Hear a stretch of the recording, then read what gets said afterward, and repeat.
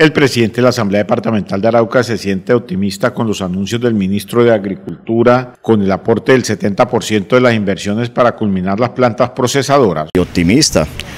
Tres cosas fundamentales se dieron en ese ejercicio.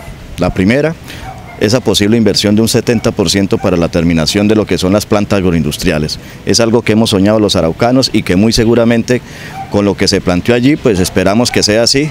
Estamos mirando que se aprueben los, proyectos. Eh, lo que ofreció el, ministro en el tema de la parte técnica, pues esperamos que se cumpla.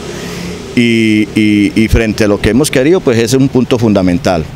Dos, esa, esa posible inversión que viene lo que tiene que ver con las cadenas productivas. Yo soy un convencido que Arauca necesitamos fortalecerlo ahí. Según el presidente de la Asamblea de Arauca, Carlos Hernández, en el mes de enero se iniciarán los trabajos de las mesas con los funcionarios del Ministerio de Agricultura. La mesa técnica que sería el inicio de todo este proceso. La mesa técnica que se programó para el mes de enero, donde se habla o se planteó abiertamente por parte del ministro y es que vamos a trabajar todo el Ministerio de Agricultura aquí en el departamento de Arauca. Entonces, si uno, ese, si uno suma ese potencial que existe ahí eh, de voluntades y como se lo dije a él, se dan las cosas, definitivamente es la ruta que queremos y por ahí la, eh, eh, el ejercicio político, el ejercicio administrativo, como lo planteó el gobernador en su, en su tema de gestión, pues muy seguramente va a ser beneficioso para Arauca. El líder político aseguró que con esta inversión se pondría en marcha la economía en esta región del país? Bueno, más que la economía, yo le digo, o sea, por lo menos la potencializamos, porque es que estamos hablando de unos sectores específicos, estamos hablando todavía de unos temores claros, que una cosa es la inversión para la, puesta en marcha, pero también acordémonos de algo, Carlos, y tiene que ver con los modelos administrativos, o sea, el modelo de negocio.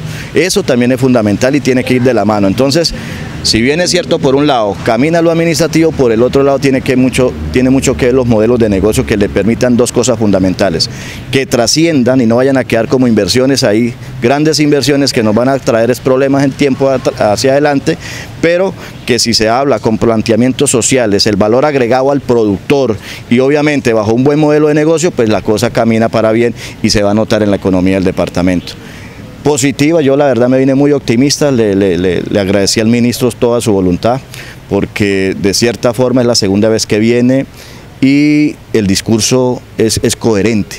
Mientras el discurso sea coherente, mientras podamos trabajar mancomunadamente, la cosa puede funcionar bien para Arauca. En el mes de enero se iniciará con la inversión del 70% para la combinación de la planta de plátanos y frigorífico de Arauca.